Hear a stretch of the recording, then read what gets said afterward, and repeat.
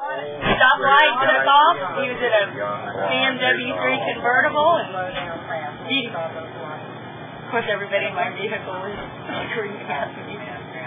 He just wouldn't break the speed limit as bad. With age comes wisdom.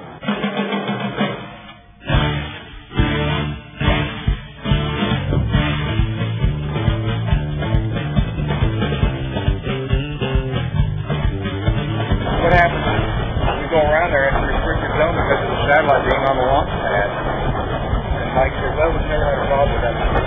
Well, I've heard the guys being in there before, and they're like, you can't be in there, and they go, okay, sure. But they'll know because there'll be a bunch of armed militia. Right. Coming up. Coming up real fast. Yeah. High speed. But we should tell them, John. And the video copy is going to look a little different than it did before. It's going to be army green.